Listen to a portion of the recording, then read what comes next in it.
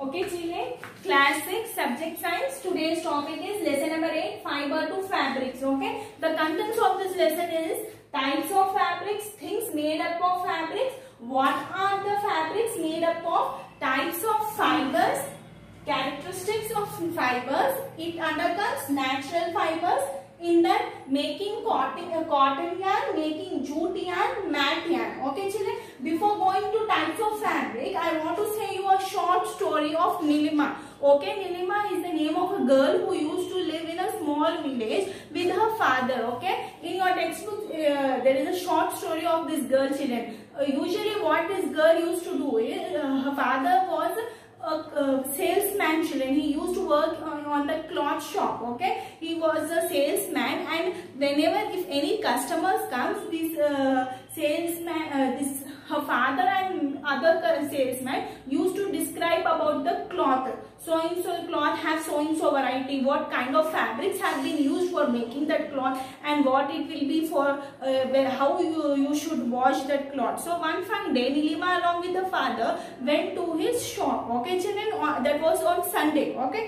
Uh, there he, she sat and she saw all the salesman and even her father is describing about the cloth fabrics. Okay children usually they used to say about the smoothness thickness and uh, color about the properties of shrinking and what is color whether the cloth should be dry clean or whether the how the cloth should be washable in that way they you all used to say to the customers while returning home nilima asked so many questions to her father uh, how this cloth have been made how the fabric uh, what uh, how the fabrics have been made and why, why is the difference between all the fabrics? Why so in, uh, if suppose cotton is there and polyester is there why the price different is dif uh, differs from both the fabrics? And so on questions she have asked okay children see in your uh, figure number 2 page number 74 this table is there no children. There you can write okay? There, uh, you must need to list types of clothes and what uh, do you wear in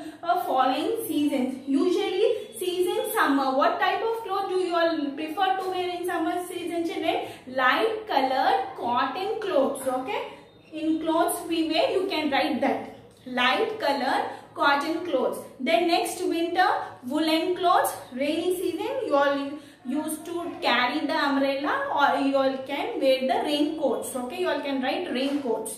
Okay now come uh, now coming to things made up uh, types of fabrics children. Okay see children we can say that fabric is a shield for us okay? It protects us from protects us from different weather conditions okay? Not only uh, uh, weather conditions children along with the weather conditions it also give us the symbol of beauty and the cloth, uh, clothes give us the symbol of beauty and status okay? See children the uh, selection of clothes differs from person to person okay? It differ uh, it varies from person to person okay? It is not just that i want to wear so and so clothes so you all also wear so and so clothes. No. It differs uh, it varies from person to person okay? Suppose some people like to wear light colored clothes okay? Some people like to wear thin shiny okay? Or some people like to wear bright color clothes okay? isn't it children? Now see children uh, did you all heard about coarse fibers? Coarse fibers is a fibers which is used for mopping okay children?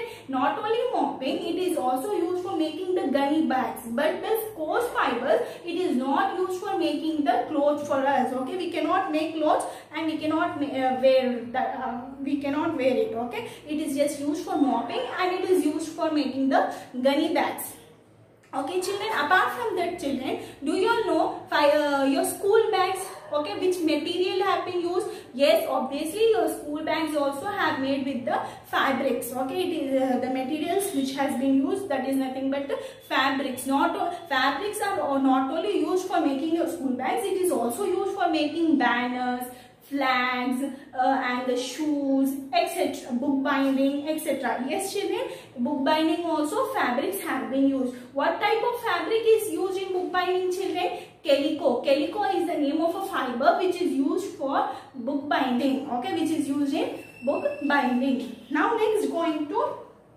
things made up of fabrics. See children, in our houses we wear different variety of clothes, isn't it children? We won't wear same type of clothes okay uh, there are so many variety of clothes in our house now in your table number one that is type of fabrics usually you wear and what things uh, uh, are made from that fabrics okay usually cotton from cotton sarees and towels are made up of cotton and we will uh, uh, wear it. Okay children we use that okay towels everyone will use. Sarees your elders your parents will use. Okay children?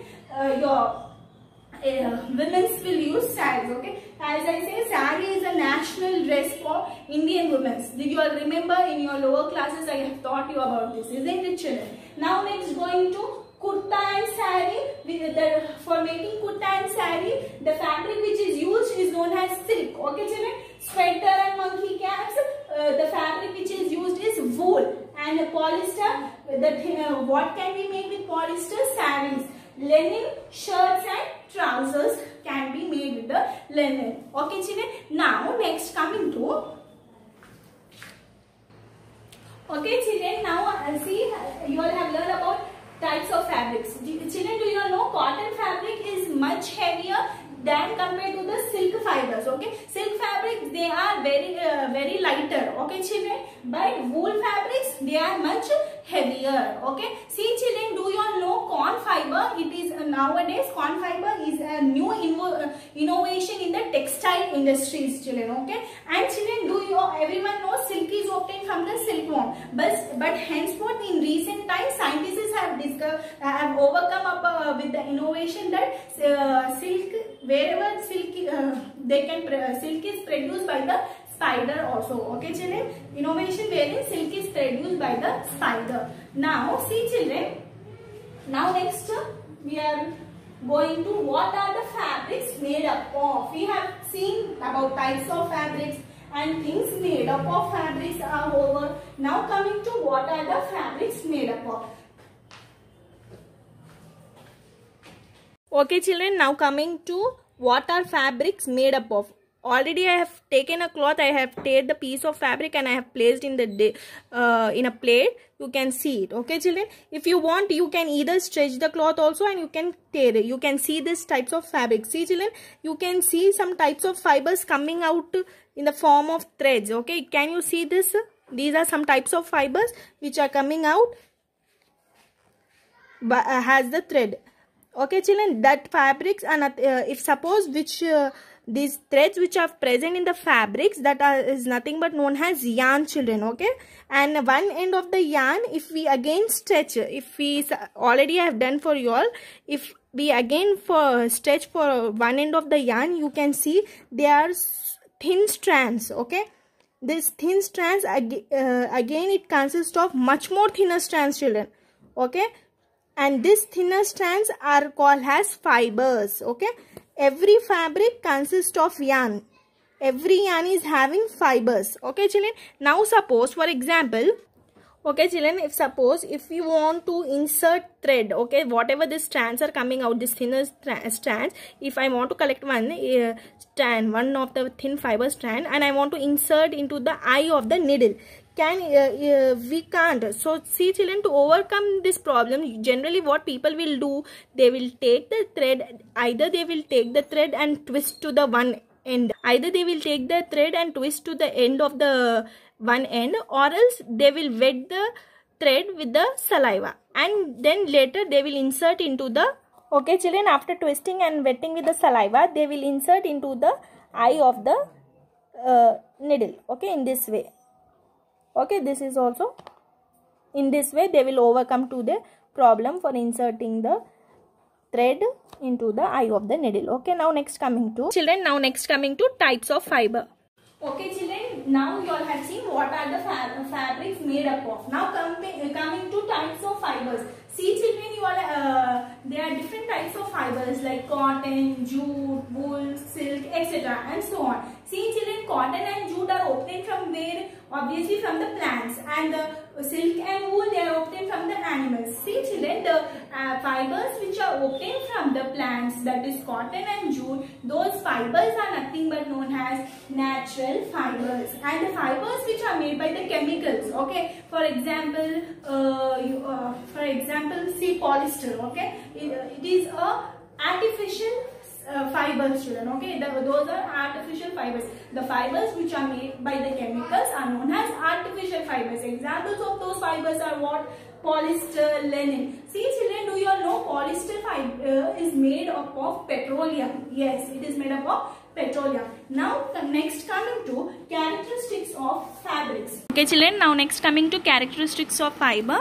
See table number 2 character natural fabric artificial fabric. You all must need to see uh, whether this uh, water absorbing nature of this character is uh, for natural fabric whether it has been done or not or for artificial fabric it is done or not. Okay water absorbing nature in natural fabric yes. Artificial fabric no time taken to dry more time will be taken in for the natural fiber fabrics children and short time for the artificial fiber fabric. Smell while burning it will be normal smell for natural fabric and pungent uh, yes there will be smell like a pungent smell it will produce children okay?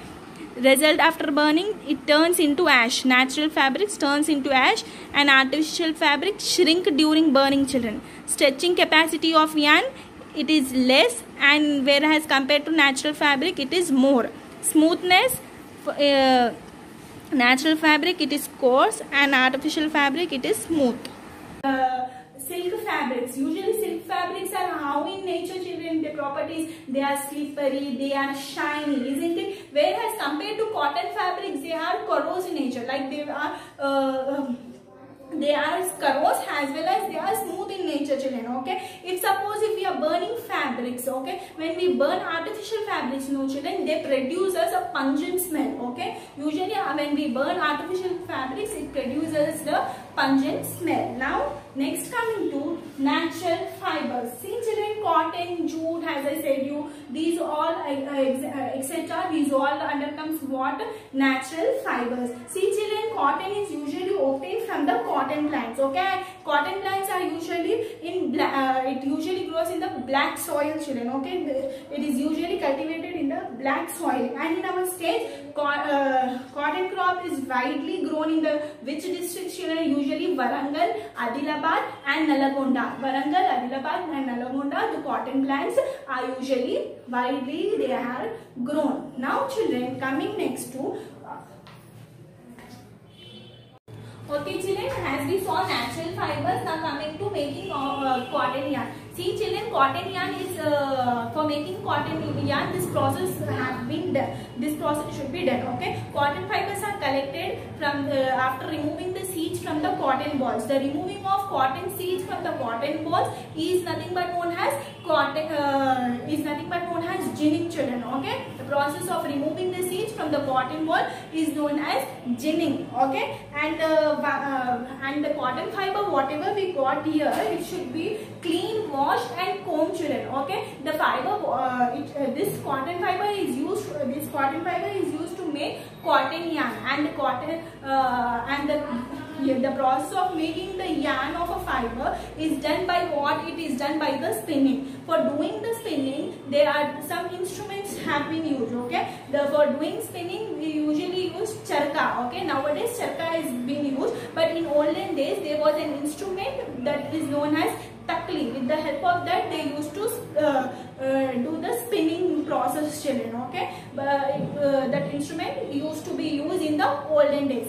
See children once the yarn have been uh, dyed and it has been after doing the spinning the yarn is getting dyed and it is being coated with some chemicals okay? So that the fabric should be, uh, become strong enough okay? And after uh, coating that it the fabrics be, become strong even. If you remember children in the struggle movement mahatma gandhi used to say to Mahatma Gandhi always uh, what he used to say to people to for the khadi cloth okay? That khadi cloth is nothing but done by the charka process okay? By the charka only with the spinning uh, the charka only he, they all used to make the fabric or they all used to make that khadi cloth. Now next coming to what? Making of jute yarn.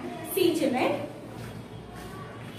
now next coming to making of a jute yarn see children jute, uh, jute how, to how this process is going to work? Now i'm going to say all okay? Jute fiber is obtained from the stem of jute. The stem of the harvested jute plant is cut and later it is soaked in water children okay? After getting soaked for some days then you can see fibers are separated to form the jute uh, to form the jute yarn. The yarn that is prepared from the fiber is used to make fa fabric children okay? Whatever the yarn is prepared from the uh, from the jute uh, fiber uh, whatever the yarn is prepared from the fiber it is used to make that fabric okay? Spinning of this yarn is usually done on the large scales okay? And it is usually done by machines. You can see in your right hand side in figure number 8 okay? That uh, spinning of yarn is is being done on the large scale and it, this spinning will be done on the machines. But where has come to cotton clothes? What i have said for that cotton fabric what i have said it that spinning uh, ca process can be done by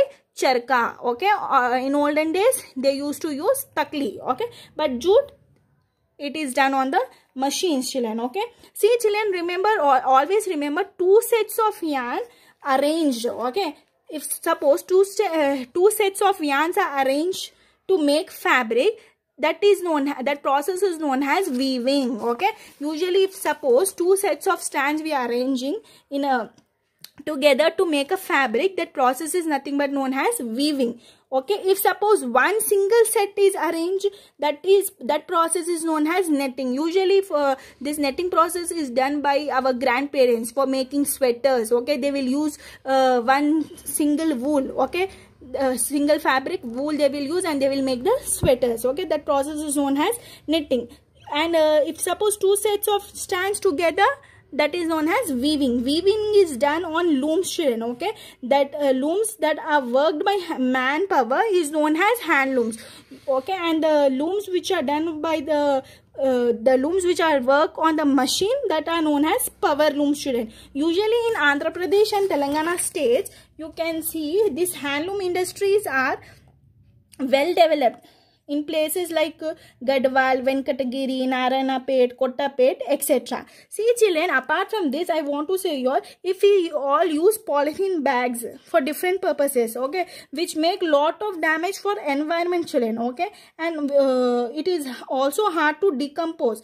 Instead of polythene bags, we can use jute bags to make it unpollute the environment. Uh, if we are using jute bags, the environment, uh, the environment also does not become uh, the environment also becomes unpolluted okay? Now next coming to mat making. Okay mat uh, mat can be made by then for this process for making the mat we, we must need to take coconut leaves or strips of different color papers children okay? And after taking that uh, strips uh, you must need to put the strips in the parallel position. You can see in uh, figure number 10 okay you must first need to keep in parallel to each other. The stripes uh, the strips should be parallel to each other and insert one more strip horizontally. You must need to insert one more strip which should be in a horizontal and alternately between the vertical strips children so that finally we get the mat. With this we have completed your lesson that was fiber to fabric. If you all are having any doubts contact me. Thank you